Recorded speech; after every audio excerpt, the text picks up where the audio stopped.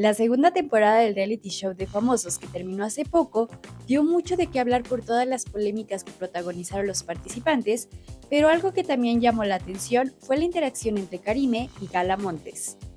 Después de que las famosas hicieran muy amigas, poco después se dieron un beso y a partir de ese momento en ciertas ocasiones se besaban, lo que llevó a los fans del show a mencionar que entre ellas había algo más que una amistad.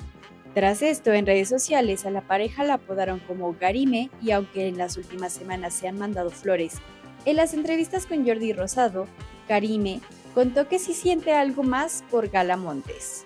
En la plática, Karime señaló que no hubiera tenido intimidad con Galamontes en el reality show, pero mencionó que sí hay una química entre ellas, pero solamente de amistad. Mencionó que entre ellas hay cariño y atracción, pero solamente se ven como amigas. A pesar de decir que ella y Galamonte son amigas, Karime admitió que le daría miedo que algo más entre ellas se diera porque no quiere perder la amistad de la actriz. Finalmente, Karime no cerró la posibilidad de que en un futuro surgiera un romance.